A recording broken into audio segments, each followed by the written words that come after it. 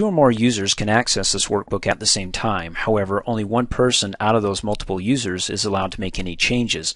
Everybody else gets a read-only option. In other words, they can only view the workbook, they can't make any changes. However, if I want to change that and allow them all to make changes to the same workbook at the same time, then I want to turn on the shared workbook feature which is pretty cool because it highlights any changes made by others to the cells and it actually colors the border of that cell color for each user. So Bobby can make a change to this cell. It'll give him a color like green and then maybe Susie makes a change to that cell, give her blue, and then somebody up here has pink. And when I hover over those colored bordered cells, it'll actually tell me the person who made the change, the date and time they changed it, and what the data was prior to the change. Now to turn on this feature is pretty simple. Just come up here and click on the Review tab, come to the Changes group, and you actually have three choices. You have the Share Workbook, the most obvious, Track Changes, which a drop-down arrow to highlight the changes is what I'm going to be talking about, and the Protect and Share Workbook. First of all, I want to tell you about the similarities between the three. All three of them will allow you to share the workbook where multiple users can open it up at the same time and make those changes at the same time. Another similarity is that they all keep a history of those changes, so you can later review that history and accept or reject those changes. Now the differences. The shared workbook, anytime that somebody makes a change in the workbook and I click on my save button, it'll update that and show me and color the border around the cell like I was just talking about. When I hover over it, tell me who made the change to this cell, Bob, Susie, somebody else that's in the workbook at the same time that I am versus the track changes again, this highlight changes here. When I use the highlight changes, it keeps track and highlights the changes that I make prior to saving it, which is nice because if I have hundreds of columns and thousands of rows, and I'm coming in here and just typing in a bunch of numbers, making all these changes, the moment I hit enter after I make a change, it'll color the border of that cell. So when I'm done, I can verify that this is what I want before I click save. So again, the difference between the two is deciding when you click Save, after you click Save, do you want to see who made the changes by highlighting the border of the cells? Or do you want to be able to keep track of the changes before you click Save of the changes that you make to these cells? Again, both of them will keep a history, so if it doesn't matter to you whether you highlight those who have made changes or highlight your own changes, you can still view that history later on, which I'll show you when it comes to down here accepting or rejecting those changes, okay? And then finally, you have the Protect and Share workbook. Now, the protection comes in to prevent other people from turning off your sharing ability, okay? Also, from turning off the history of those changes. Because if I turn off the history, later when I come in and go, well, gosh, who made the change here? That's incorrect. That number's wrong. I don't have a history.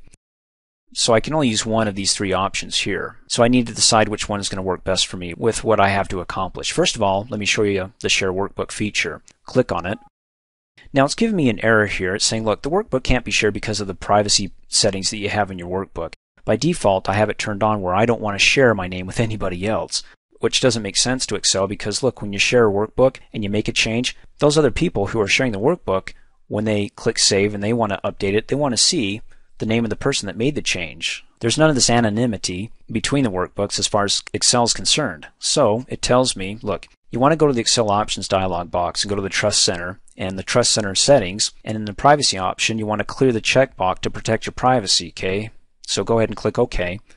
Office logo button, Excel options, to the Trust Center, to the Trust Center settings, to the privacy option category. And you see that remove personal information? No. I want to keep my personal information in there so when I make changes, other people can see that that's me. Okay.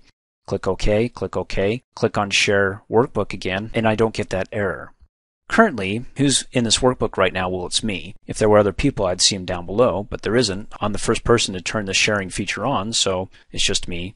And all you have to do is check this box that says allow changes by more than one user at the same time. I'm sharing. Some of the more advanced options come to your history. In other words, how much of a history do you want to keep track of when people make all these changes? Up to 30 days. Then if it goes beyond 30 days, it starts dropping off. Or I can just do 15 days. So in other words, up to 15 days, I can see the history of all the changes that have been made and accept or reject those changes. If it goes beyond 15, then it starts dropping off those days, okay?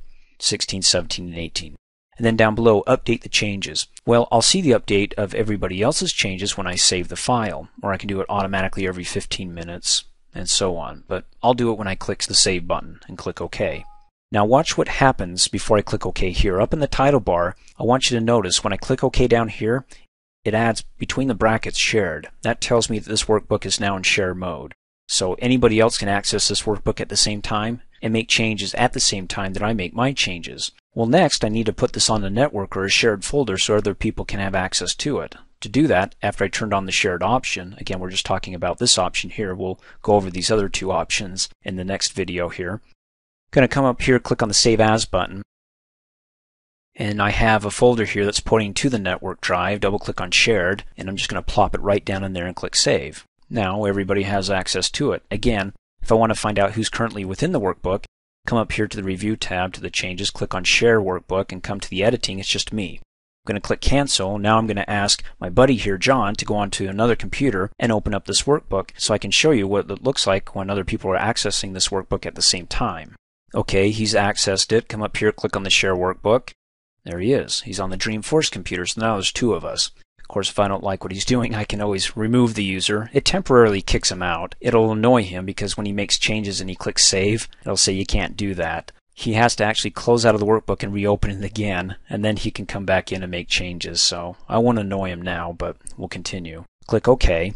Now any changes that I make, remember this feature only tracks other changes that other people make. You still get the history of changes that you make and others make, but this is just a matter of look, do you want it to be highlighted when other people make the changes after you click save? So that's why I use the share workbook. So if I make changes, hit enter and changes and click save, nothing, okay? Now I'm going to have John make some changes and we'll see what happens. Okay, I asked him to save it after he made his changes. Now I'll go ahead and come up here and click save to see the changes that he made.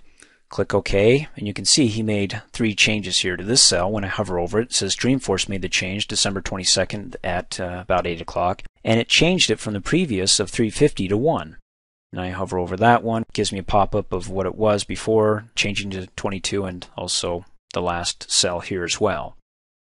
Now when I come in here and I make a change and I do something else and I update the workbook and hit enter, those highlights disappear. But again, that's okay because later on I'm going to show you how to go through the history of these cells and accept or reject those changes. Again, this is just a temporary, hey, look what he just changed effect with those colored cells. Now I have a question. What would happen if I come up in this cell and I make a change at the same time John made the change, then I click save? In other words, I have conflicting numbers. Probably the best thing to do is before I make any changes to go ahead and click on the save button to see what changes he made and then go ahead and make my changes in the other cells. But it's not a perfect world. I can't always click here and click save constantly to make sure that I'm not editing things that he's editing. So there may come a time where we conflict and let me show you what that looks like. I'm going to go ahead and ask John to make a change here to uh, cell B4, type in the number and click save. Okay, he's clicked save. Now, I'm not going to click save to see what the changes that he made to the cell, but I'm just going to ignore it, and let's say I'm going to make my own change here. So now when I click save, what's going to happen is going to come across the network with his number, saying, well, this is his new number, but it's going to conflict with my new number, and it's going to try to resolve that with some options. So when I click save,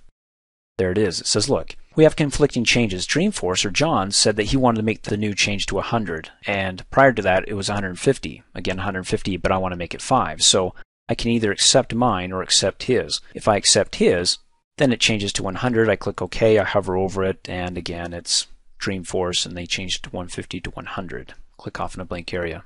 And then finally, what I want to show you in this training video before we go to the next one, when we talk about the um, highlight changes, that option to share your workbook and protect a shared workbook is, I want to show you what you can do to accept or reject changes. I want you to look at the history here of all the changes that have been made thus far. So when I click on accept or reject, remember, it only keeps uh, track of the history up to 15 days. After 15 days, it starts dropping off.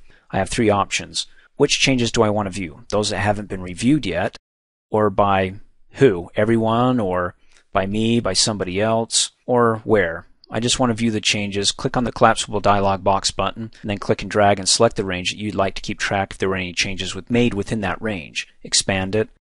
Well, to keep it simple, I'm just going to say I want to view all those that haven't been reviewed yet, okay? And click OK.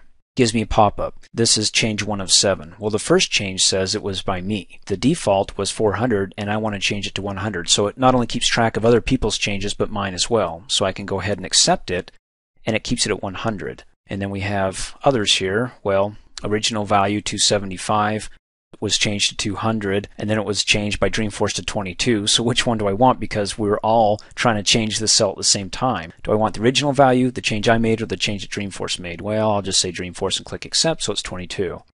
Now, if I'm beginning to trust everybody and say, look, Dreamforce has made changes, I like everything, I could just go ahead and, and click on accept all. And then it does two things. It first accepts all the changes, but then it clears the history because it assumes that once you've gone through the history and you've made your sound judgment of accepting or rejecting those changes, it thinks, okay, we're done, we can clear out, and then we can continue on from there to keep track of any future changes. Okay, let's go to the next training video and I'll talk about how to share your workbook with highlighting your changes or protecting and sharing a workbook.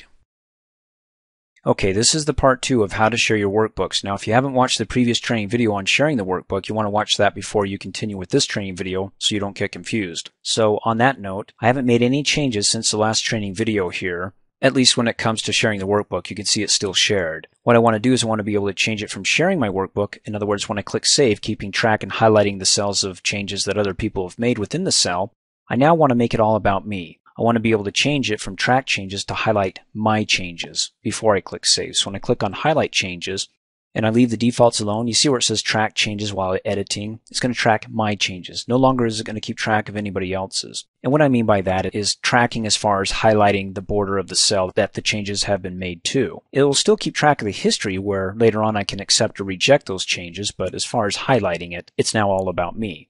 So when are the highlights going to take place since I last saved it? And it's going to highlight my changes on the screen. So when I click OK, it's going to say, well, no changes were found. Well, I haven't made any yet. So when I come in here and I make a change, 300 and hit enter, it actually highlights it and it's me. So when I hover over that, it says it's me. I made this change. This was the previous value here, which is nice for two reasons. First of all, if I have a lot of changes to make, and before I click save, I want to come back here and go, gosh, you know what? These numbers, they don't look right. At least I can hover over it and go, oh, okay, well, that was the previous number. I guess I'm okay with that. You know, I can keep track of that and also keep track of what cells I made changes to. Of course, when I click save, it removes it. Now, at the same time, from this point forward, using this option here, highlighting changes, it's all about me.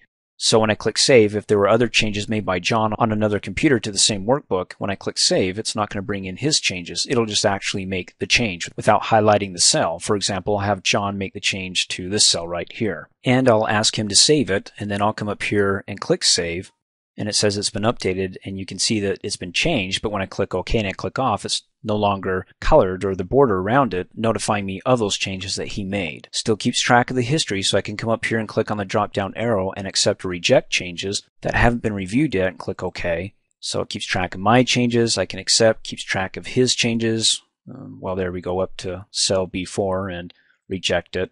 But again, it's all a preference. Do you want to be able to highlight the cells that after you click the save button that other users have made to come into your workbook? Or do you want to highlight the cells that you make before you click the save mm-hmm. button here?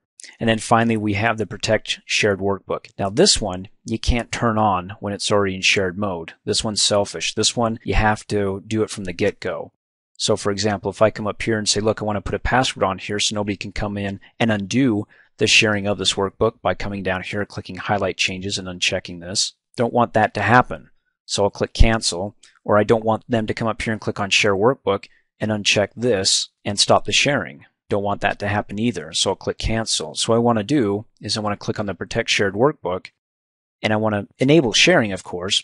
But notice down here it has the password. I cannot apply a password to a workbook that's already been shared. I have to unshare it first or I have to start from scratch where it's not shared and then click on Protect Shared Workbook. So let me click Cancel. Let me go ahead and unshare the workbook. Click on the Share Workbook button. First of all, let's dump and remove the user Dreamforce from here and click OK. He's bumped out. Now he's probably angry when he's typed in all these numbers and he wants to click save and it won't let him do it. So he has to close out and reopen it again. But let me go ahead and uncheck this to stop the sharing. Click OK. It says, are you sure? Click yes.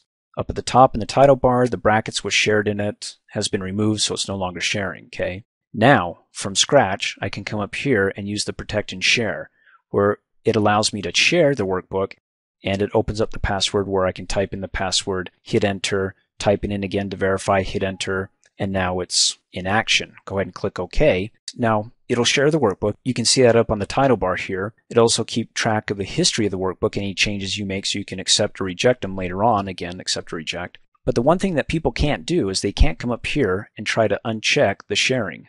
Nope, can't do it there. Click the drop down arrow, highlight changes, can't do it there. The only way they can do that is unprotecting the shared workbook. Now, if they do that and they do have the password, it'll stop the workbook from being shared. For example, click on it, type in the password, hit enter. It says, look, this action is going to remove the workbook from being shared. If I click no, then I'm back to square one. Again, click on the share. I can't uncheck the workbook. So if I unprotect it and I type in the password, hit enter, and I click yes, well, it's no longer shared, but it's also no longer protected as well. But I guess that wouldn't matter because if you're not sharing, what's the point in protecting? You might as well put a password on your workbook, in which case I refer you to my Pass Protect the Workbook training video. Thanks for watching. Hey, as a quick reminder, if you like my video, please give it a thumbs up. You can also click on me and subscribe to my channel, get notified of the latest videos, and for only $2 a month, you can have access to all my Microsoft Office training videos.